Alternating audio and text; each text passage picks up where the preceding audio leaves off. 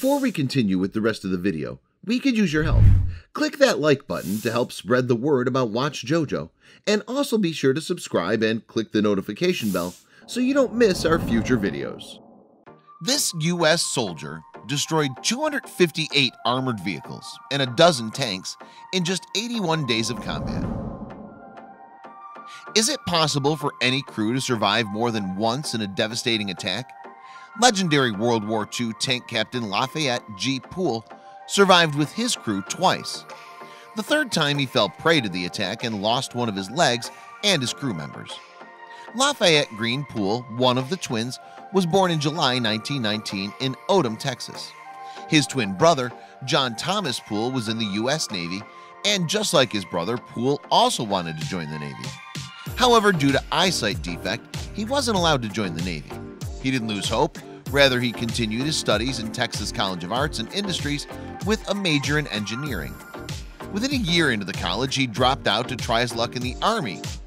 This time around, he was lucky enough and got attached to the 3rd Armored Division and underwent training at Desert Training Center in Indiantown Gap Base in Pennsylvania.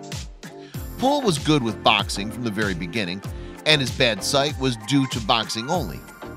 In the Army, he became a divisional and regional champion. Although he was gaining popularity due to his boxing abilities and was invited to take part in different competitions, he was not interested in it. He refused to be part of any competition.